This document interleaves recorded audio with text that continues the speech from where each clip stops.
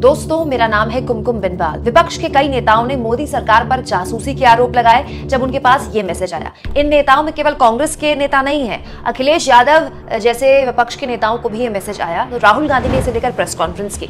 इस press conference में ज़िक्र तो जासूसी का हुआ, अडानी का हुआ, लेकिन अचानक राहुल गांधी ने मीडिया की उस दुखती रख पर हाथ रख दिया जो मीडिया वालों को बिल्कुल अच्छी नहीं लगती है, खासतौर पर न्यूज़ चैनल्स और अखबार वालों को। दोस्तों न्यूज़ चैनल्स के सारे माइक्स और सारे कैमरा पर्सन ऐसे राहुल गांधी के सामने बैठे हुए थे और राहुल गांधी अडानी के मुद्दे पर प्रेस कॉन्फ्रेंस ही कर रहे थे जिसमें जासूसी का मुद्दा भी वो जोड़ रहे थे। तभी अचानक राहुल गांधी ने कहा कि ये जितने भी कैमरेज आपको दिखाई दे रहे हैं इनमें से आधे से ज़्यादा तो अडानी के ही हैं अडानी के चैनल वाले हैं। इसीलिए उन चैनल वालों के कैमरों के ज़रिए राहुल गांधी ने अडानी को कहा hi Adani ji.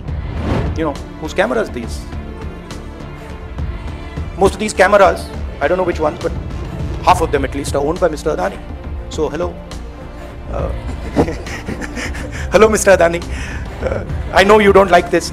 Um, I know you don't like this uh, type of activity, but I must tell you that you are creating a huge amount of anger against yourself in this country.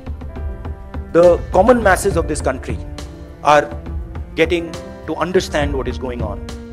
इसके बाद तो राहुल गांधी ने वो बात बोल दी जो news channels के मालिकों को कतई अच्छी नहीं लगेगी। दोस्तों, करीब 16 साल का मेरा अनुभव हो गया है। टीवी चैनल्स में ही मैंने लगातार काम किया है। पिछले करीब करीब ढाई साल से मैं यूट्यूब में हूँ। लेकिन इतने बड़े बड़े चैनल्स का हिस्सा रहने के बाद भी इस बात को मैं दावे के साथ कह सकती हूँ कि जो न्यूज़ रूम है, जो न्यूज़ चैनल चलाने वाले लोग हैं, बड़े पदों बड़े पदों पर जो बैठते हैं, उनमें से ओबीसी की संख्या ना के बराबर है। और ये कोई ऐसी बात नहीं है जिसका मैं खुलासा कर रही हूँ। न्यूज़ चैनल वाले भी जानते हैं। और मालिकों का जहाँ ज़िक्र किया जाए चैनल के मालिकों का, वहाँ तो ओबीसी दलित और आदिवासी की कोई जगह ही नहीं है। और इसी मुद्दे को लेकर राहुल गांधी ने एक बार फिर से न्यूज़ चैनल के मालिकों को ज़बरदस्त सुनाया प्रेस कॉन्फ्रेंस में। इसमें इस इस कमरे में कितने पिछड़े लोग बैठे नहीं, अब आप बैठ गए, आए हो।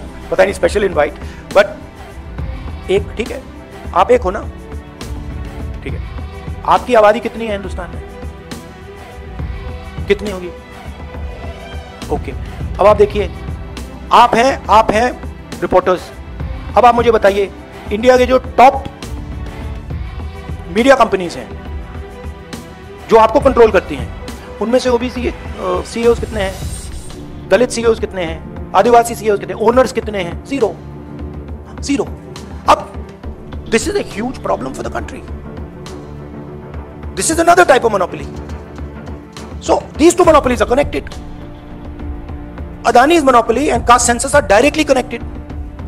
दोस्तों, ये जो बात राहुल गांधी ने आज बोली है, पहली बार नहीं बोली है, लेकिन इसका जवाब तो चैनल के मालिकों को खुद देना होगा ना। ऐसा कैसे हो सकता है कि एक जाति विशेष के लोग ज़्यादातर चैनल्स में दिखाई देते हैं? कोई दलित कोई आदिवासी या कोई ओबीसी आपको चैनल का हेड भी शायद ही दिखाई देगा। ऐसा कैसे हो सकता है? दोस्तों मीडिया में पिछड़ी जाति के लोगों की भागीदारी इतनी कम क्यों है? इस सवाल का जवाब कौन देगा? आप इस मुद्दे पर क्या सोचते हैं दोस्तों? कमेंट बॉक्स में ज़रूर लिखें। और जितना हो सके चैनल को शेयर भी करें सब्सक्राइब भी करें और थैंक्स और ज्वाइन के ऑप्शन से अगर आप चाहें तो कुछ आर्थिक मदद भी चैनल की कर सकते हैं।